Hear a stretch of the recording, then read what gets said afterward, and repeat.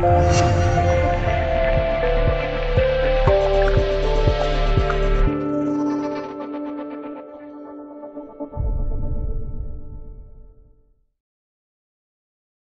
克斯新闻网九月二十日消息，美军二零一九年将获得六千七百四十亿美元的预算支持。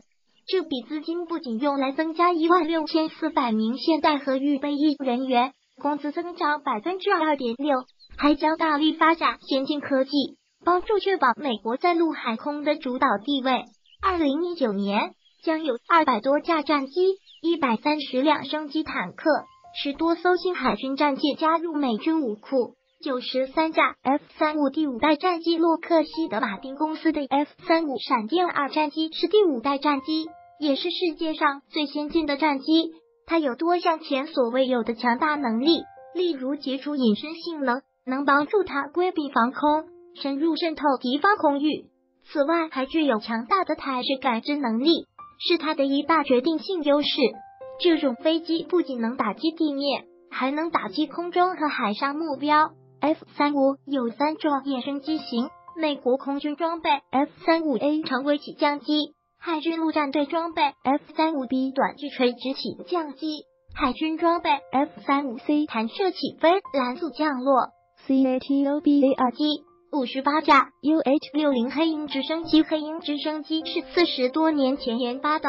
但今天依然可发挥强大的作用。除主要的空袭任务外，还可以执行医疗后送、机特种作战等多种任务。黑鹰随着时间的推移发生了很大变化。今天的机型与以前相比，飞得更高，搭载量更大。六十六架 AH 六四阿帕奇直升机，AH 六四阿帕奇攻击直升机在美国陆军服役已经有三十多年时间。预计这种直升机还可以再服役二十年以上。阿帕奇也一直在改进，它的飞行速度达每小时一百五十节，可根据任务需要搭载载机武器，例如长弓机型可搭载十六枚地狱火导弹、十三架 V 二二鱼鹰鱼鹰战斗直升机，采用特殊的轻装旋翼技术，外观别致，能力也与众不同。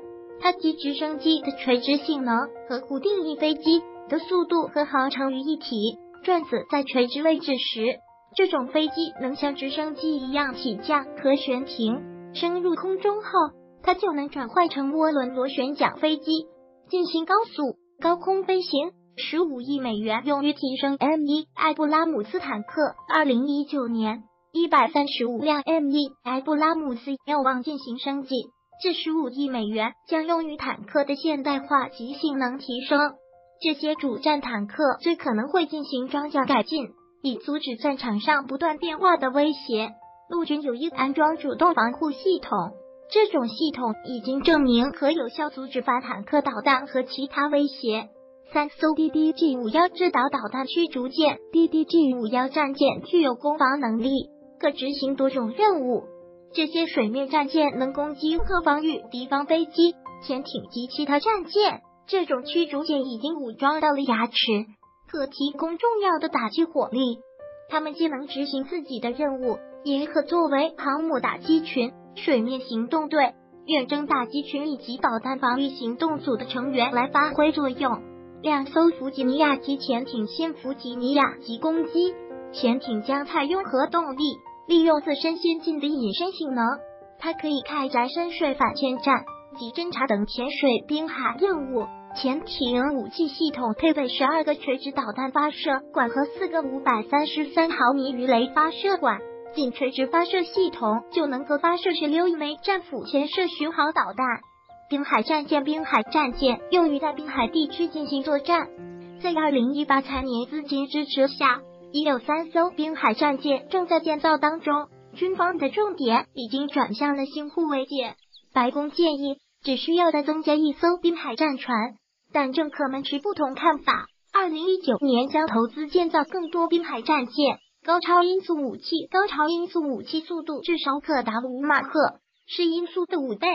参议院已经增加了五点零八亿美元，作为对高超音速武器这一级重要领域的投资。近年来，美国并未重点进行高超音速领域研发，而中国和俄罗斯等国。一直在公开说明本国的进步。美军需要投资来研发这种新武器，也需要资金来制定解决方案，来防御这种速度极快的导弹。